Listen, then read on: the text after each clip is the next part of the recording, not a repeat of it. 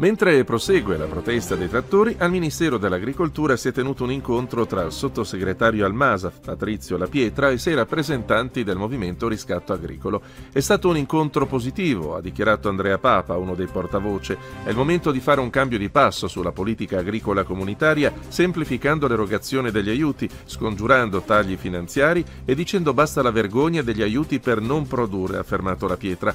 Nelle prossime settimane il governo aprirà un confronto con le regioni regioni e le organizzazioni agricole per individuare le filiere cui destinare i primi interventi di sostegno. Ergastolo per Giovanni Padovani, 28enne che il 23 agosto del 2022 uccise a Bologna l'ex fidanzata Alessandra Matteuzzi, 56 anni, sotto casa di lei.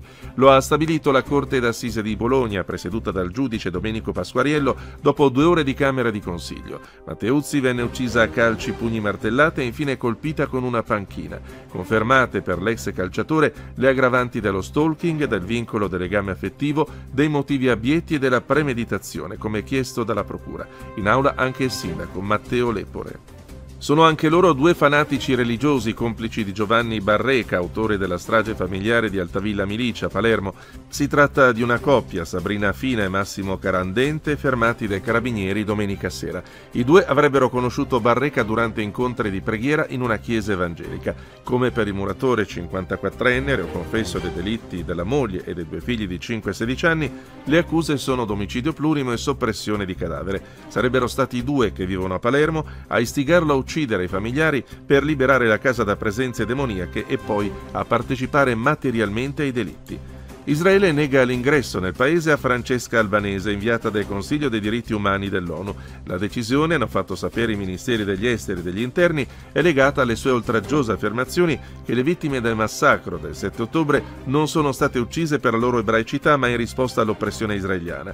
Intanto la situazione dei civili palestinesi a Rafah preoccupa il Regno Unito e il ministro degli esteri Cameron alza i toni nei confronti di Tel Aviv. Israele si fermi, occorre subito una tregua, dichiara anche dagli Stati Uniti si levano voci critiche.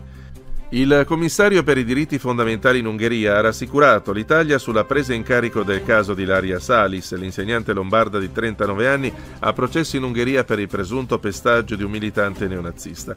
L'ufficializzazione è arrivata su sollecitazione dello stesso garante, che nei giorni scorsi aveva scritto all'autority ungherese a proposito delle condizioni di detenzione di Laria Salis, chiedendo di monitorare con attenzione la sua situazione presente e futura. Il governo sta studiando una norma in base alla quale chi occupa, se non dimostra di non essere coinvolto nei fatti, risponda civilmente dei danni che sono stati cagionati. Lo ha annunciato il ministro dell'istruzione, Giuseppe Valditara. Chi occupa, chi compie un atto illecito deve rispondere dei danni perché dice studenti di questo tipo non possano essere promossi all'anno successivo. Valditara ha visitato il liceo Severi Correnti di Milano dopo un'occupazione che ha portato a danni per circa 70.000 euro. Un nuovo format di ristorazione a due passi dal pontile di Ostia. È Alt Stazione del Gusto, un modello unico nel suo genere, nato dalla collaborazione tra Eni Live e Accademia Nico Romito. Permette di gustare cibo di qualità in un'atmosfera informale, come la storica stazione di servizio in Piazzale della Posta.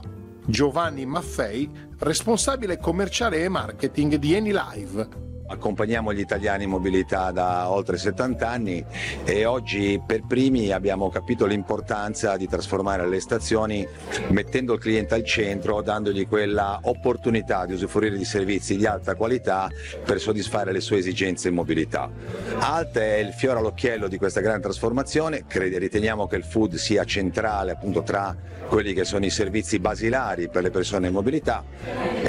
Il primo che è stato aperto appunto è Viale America, questa è la seconda apertura, prossime, nei prossimi mesi apriremo ulteriori alte su Roma, eh, Corso Francia, Circolazione Trionfale, Aurelia, per poi seguire nelle altre città italiane e non escludendo entro fine anno di scendere anche su alcune location europee con particolare riferimento a progetti che stiamo vedendo su Berlino, Monaco e Vienna.